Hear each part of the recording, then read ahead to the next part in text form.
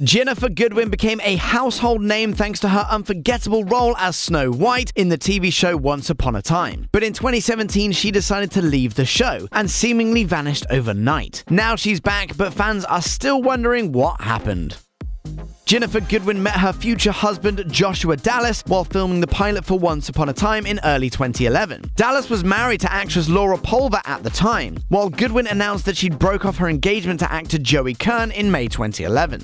A source told E! News that the co-stars had a quote immediate connection when they met, but stayed friends since one of them was married. It reportedly wasn't until Dallas and Pulver separated in fall of 2011 that Goodwin and Dallas's relationship turned romantic. But Dallas told People in April 2012 that it was love at first sight. It hit me like a blinding light. I thought, I'm in trouble now. Considering Goodwin and Dallas played star-crossed lovers Snow White and Prince Charming in Once Upon a Time, their real-life wedding on April 12, 2014 was more than a little heartwarming. It was also a bit of a rushed affair, as Goodwin was already pregnant with their first child. Goodwin revealed in an interview on Live with Kelly and Michael in March 2015 we thought of ourselves as exceptionally modern, and we were like, we don't need to get married. We'll get married later. And then I was nine months pregnant. We were like, we totally need to get married. Their first child, Oliver Finley, was born in May 2014, and two years later, in June 2016, they welcomed a second son, Hugo Wilson Dallas. But the strain of raising two infants while working together on a major network hit became a bit overwhelming,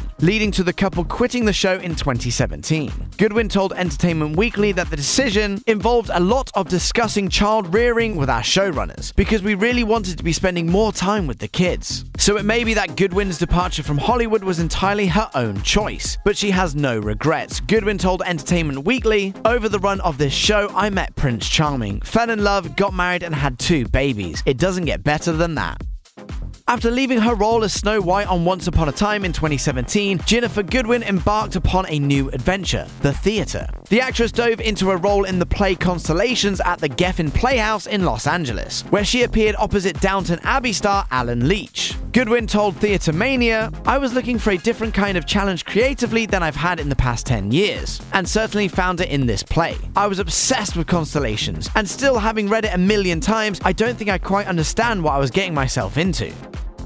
Though Goodwin proved herself on the small screen, she hasn't had much luck on the big screen. After her part in the 2009 ensemble romantic comedy He's Just Not That Into You, Ginnifer Goodwin appeared to have finally arrived as a leading lady in the rom-com Something Borrowed. Unfortunately though, it was a dud. Since then, Hollywood seems to have shied away from offering her major roles, and Goodwin actually seems okay with that. Appearing instead on TV and in smaller, critically acclaimed films like 2009's A Single Man, she told the Los Angeles Times, I'm honestly one of those people who's just fine with being broke. I would rather do church basement theatre than so many of the film and television projects that my agents would talk to me about.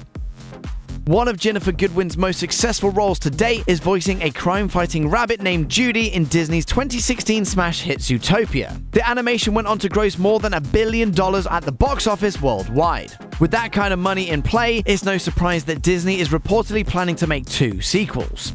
So if you don't hear from her for a while, it might not be that she isn't working, but rather that she's too busy working behind the scenes to get in front of the camera.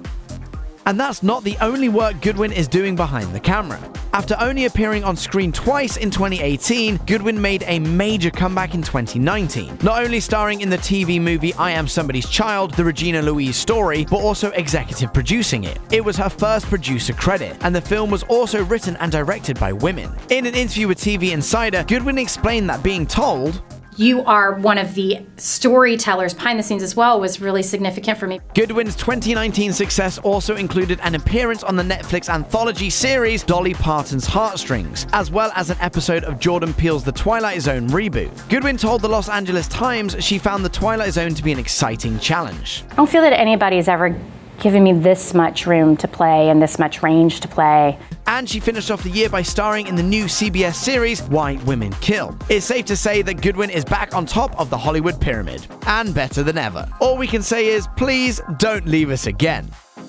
Check out one of our newest videos right here, plus even more Nicki Swift videos about your favorite stars are coming soon. Subscribe to our YouTube channel and hit the bell so you don't miss a single one.